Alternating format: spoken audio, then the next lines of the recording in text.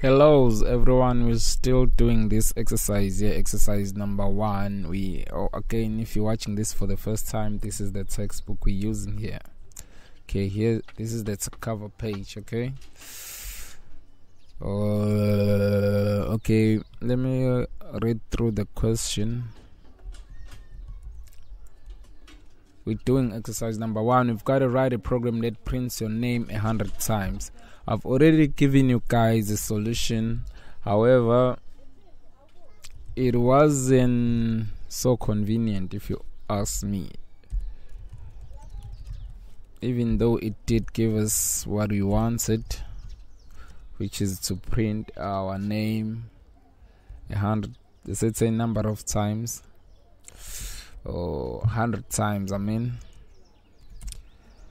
Oh let me just use that diff let's just go range not range.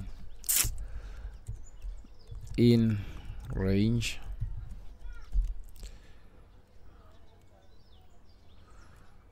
One hundred. For a change let me do one two one oh one and then I'll simply go print.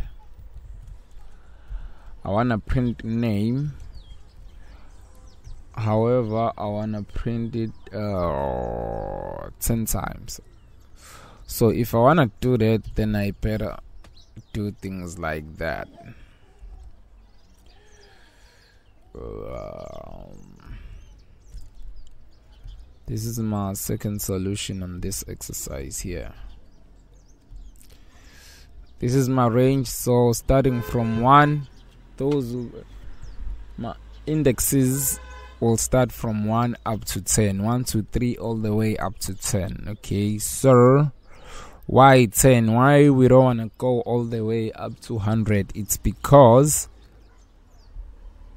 for each index we will display 10 names. So that's why we do not need uh we do not need to go all the way up to 100 again this might not look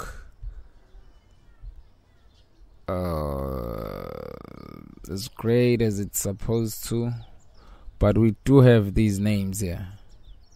10 per line. Perhaps it will be better for me to put a little bit of a space there. That way we exactly you see now it is better looking you guys. Okay so this is gonna be it for this tutorial you guys. It was pretty straightforward if you ask me. Again in case these numbers confuse you we could simply go 10 starting from 0 all the way up to 9 we'll still get one in the same answer. Okay? Cheers you guys. I am gone